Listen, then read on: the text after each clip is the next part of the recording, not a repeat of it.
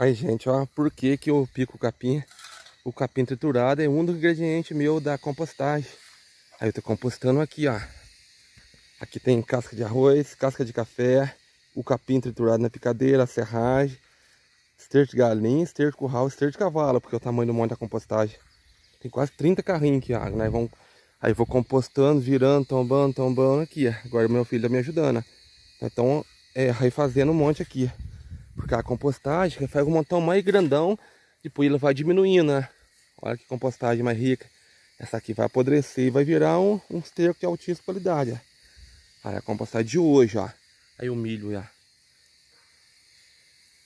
Tudo que eu piquei lá, eu piquei cana, piquei milho, piquei capim, um porra de coisa.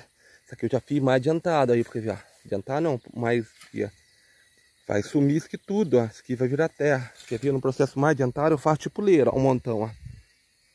Ó, tô fazendo ali hoje, uns 30 carrinhos. Rodando meu filho amontoando. Aqui tá feito. Olha, porque é o processo mais adiantado. Como que fica? Fica uma terra de excelente qualidade. Aqui, ó. Depois de alguns meses, ó, como fica.